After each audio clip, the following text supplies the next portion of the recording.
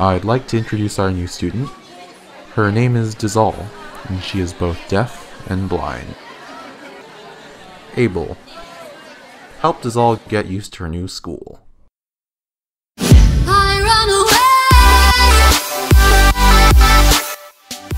you really think that someone like you would be of any help? Go away!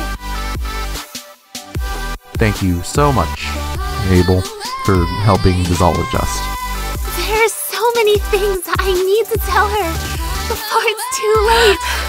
What Dazzle! Would you like to be my friend?